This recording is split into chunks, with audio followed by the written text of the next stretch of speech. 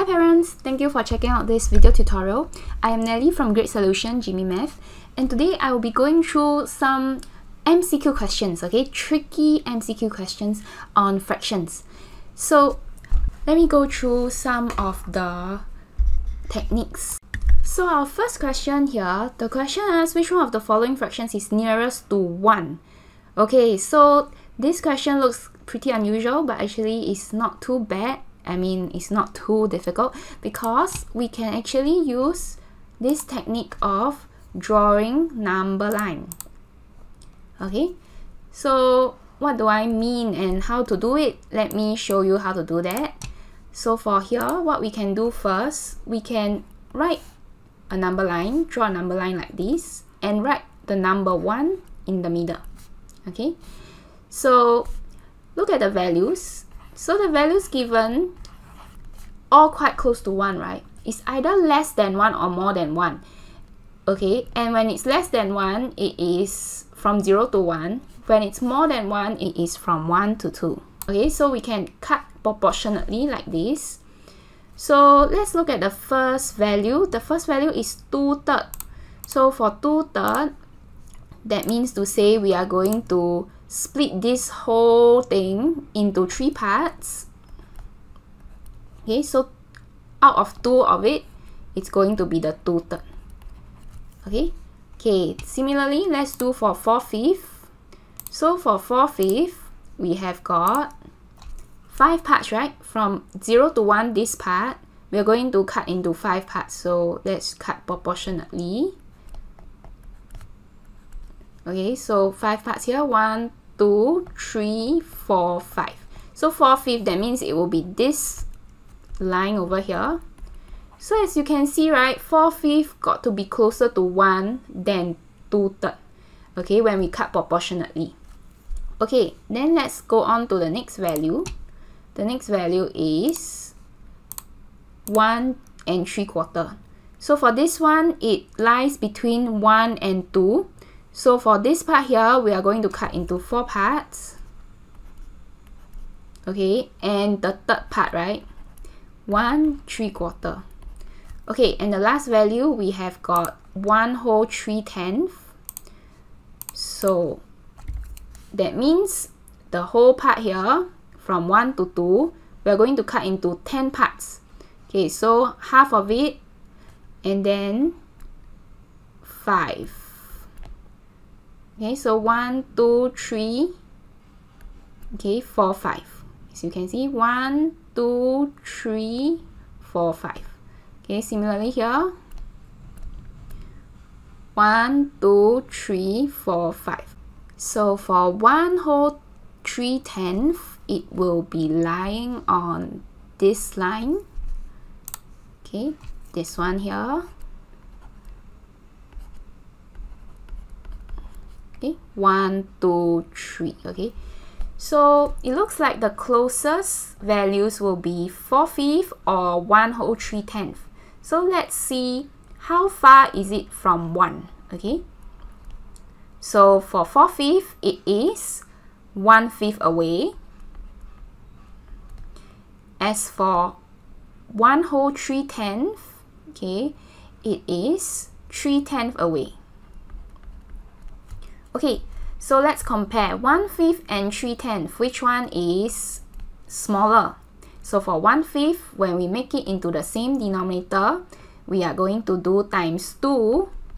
Okay, times 2. So 1 fifth, it is equivalent to 2 tenth. Okay, so obviously 2 tenth, okay, is smaller than 3 tenth. So that means 4 fifth is closer to 1. Okay, so the answer for this question is option 2. Okay, so for the question that we just did, uh, it is pretty straightforward as we are just comparing the numerator, right? The bigger the numerator, the bigger the entire value. Now let's look at a question that deals with comparing fraction values, but we are not going to compare between the numerators, okay? Okay, instead, we are going to compare the denominators. So for this question here, the question asks us to arrange the fractions from largest to smallest. So we could make the denominators the same and then compare the numerators. However, the numbers in the denominators are pretty big, okay? So, whereas for the numerators, they are pretty small. So it will be easier to change the numerators to the same value. Okay, so let's do that. So for 2, 3, and 1, the, the smallest common multiple will be 6. Okay, so for this fraction, we are going to times 6.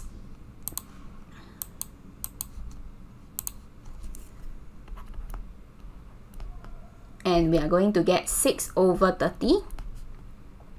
And then for the 2 over 11, we are going to times 3. This will be 6 over 33. And for the middle fraction here, we are going to times 2.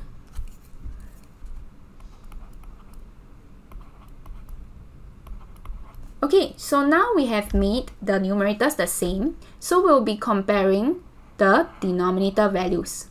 So the bigger the denominator values, the smaller the entire value is. Okay, so here we can see that the smallest will be 6 over 33.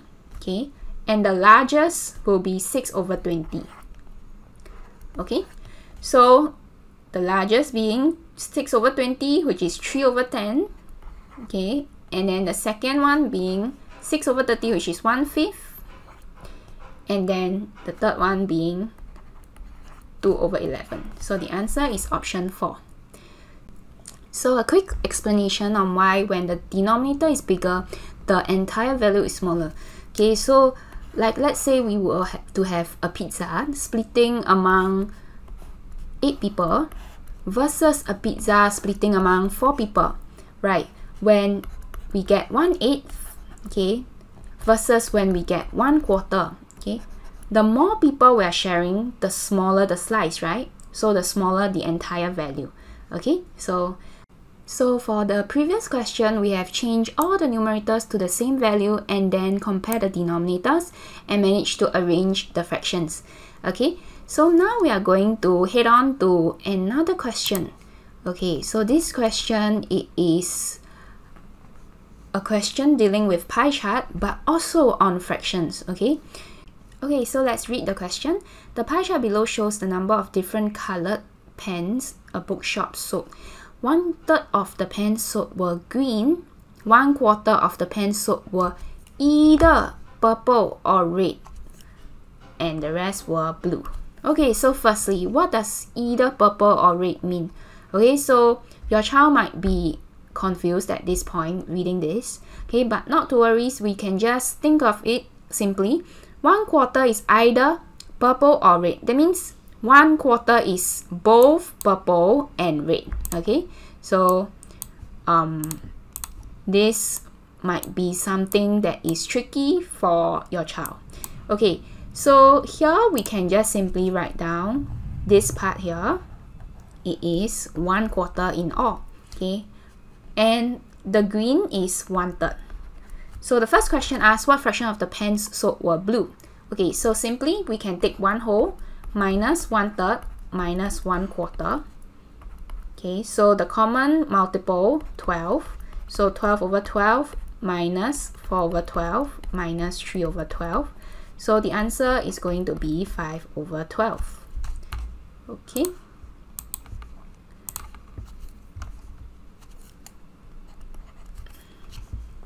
Okay, so the option 2.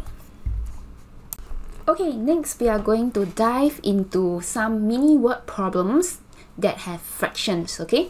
So the, for the first mini word problem, we have got this question over here. Okay, let's go ahead to read the question.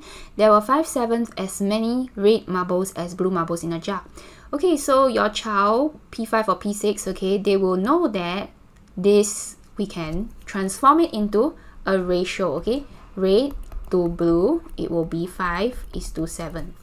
Okay, Dave took some blue marbles out of the jar and replaced them with the same number of red marbles.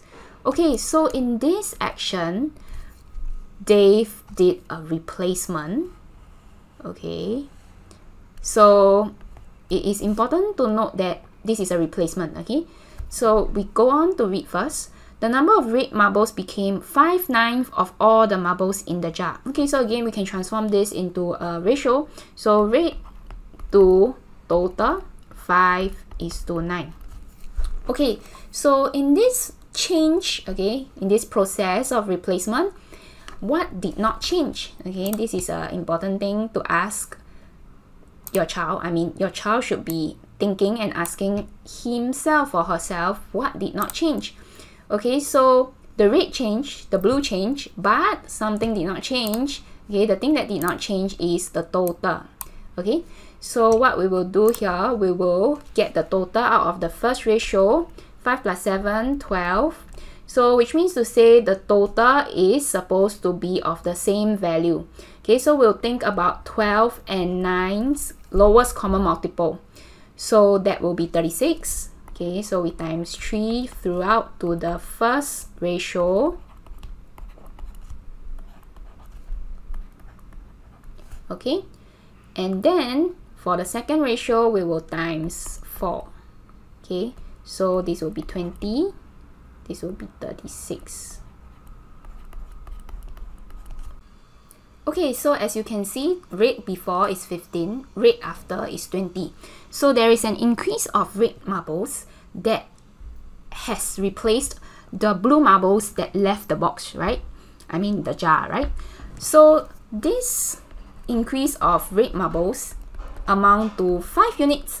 So this 5 units is also the number of blue marbles that were replaced, okay, that left the jar. So that means to say this possible number, okay, is 5 unit and it has to be a multiple of 5, right, since it is 5 unit. So the only answer is answer 10, okay, option 2, because the rest are not multiples of 5, okay. So this is a pretty interesting question whereby it's not the most conventional way where uh, questions are being asked, okay, when questions like this are being asked, okay, it is interesting and it is also a good test for your child's fundamentals. Okay, so the fifth MCQ I have for you over here in this video is about working backwards. Okay, so this question involves uh, fraction as well. Okay, so Joan, Siti, and Xiu Li had 60 beads each. Joan gave 2 fifths of her beads to Xiu Li. Siti gave some of her beads to Xiu Li. Shirley had three times the total of the remaining beats Joan and Siti had. Okay, so in this process again, okay, um, we can see that there is a transfer, okay? So um, in this transfer, it is Joan giving to Xiu and Siti also giving to Xiu So your child will know that we have this kind of question which we can term it as internal transfer. Okay, so internal transfer meaning is like a friend give to another friend. Okay, um, whereby the whole total of the entire group does not change. Okay, so um, since the total doesn't change, so we can go ahead to find the total first, which is 60 times 3 So the total before the transfer and the total after the transfer is the same. Okay, so here we can see that Shirley had three times the total of the remaining Joan and Siti had. So that means to say Shirley to Joan and Siti, this is in the end, will be 3 is to 1. Okay, that means the total is 4 unit. So 180 divided by 4 okay this is going to give 45 so we can find out Shirley first which is 45 times 3 okay 135 so here we know that Shirley this is Shirley in the end okay or yeah Shirley in the end so we know that Shirley received some from Joan, right? Which is 2 fifths of the initial 60. So we can go ahead to find 2 fifths of 60. This will be 24. Okay, So 135 minus 24 minus what Joan gave her, we are going to get 111 and this amount will be what Shirley received from Siti and what Shirley herself have at first, right? So we know that Shirley herself also had 60 at first. So we minus another 60. Okay, so Shirley had received this amount from Siti. Okay, so option 3. So parents, I hope this video was easy to understand and especially for your child to understand.